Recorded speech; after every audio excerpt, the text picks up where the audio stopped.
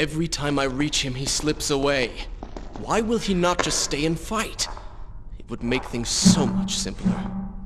It is not always about combat, Prince. Some battles are waged in other ways, on other terms. I fear we have underestimated our opponent. Let us not make the same mistake a second time.